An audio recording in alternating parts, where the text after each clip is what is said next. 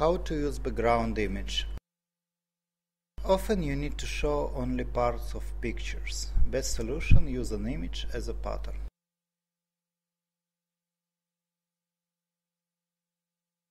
Select a rectangle on widget panel, drag and drop and then draw on the stage. Click on the size on edit tools.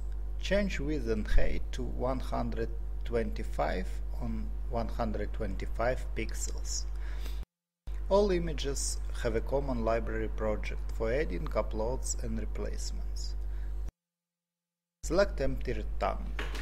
Click on the pattern on edit tools to open background image. The picture fills the plain widget. Repeat option tiling pattern. Repeat X, repeat Y, and, re and no repeat.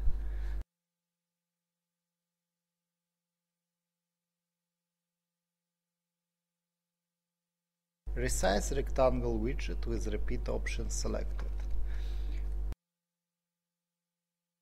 Ctrl C copies an object and Ctrl Shift V pastes it in the same coordinate. Move the copied object. Position has two values of x and y coordinate. The value can be measured in pixels, em, ex and percents. See CSS specification for more details. Change position to minus 125 pixels, 0 pixels. Look at the change in background position. Ctrl C copies object. Ctrl Shift V passes it in the same coordinate. Move the copied object.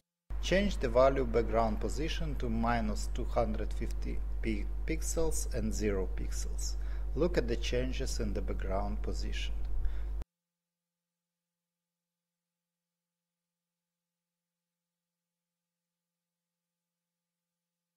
Change the value background position to minus 250 pixels and 0 pixels. Look at the changes in the background position. When choosing a set of objects, we can modify a value without changing an individual settings.